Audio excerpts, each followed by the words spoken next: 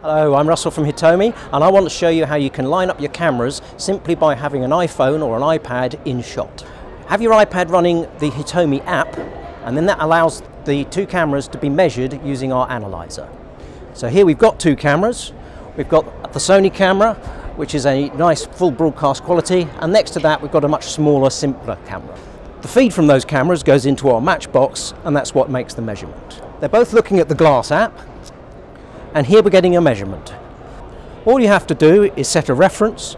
In this case, we're using camera one as the reference and then the system will tell you camera two is 69.9 milliseconds, 139 pixels adrift. As simple as that.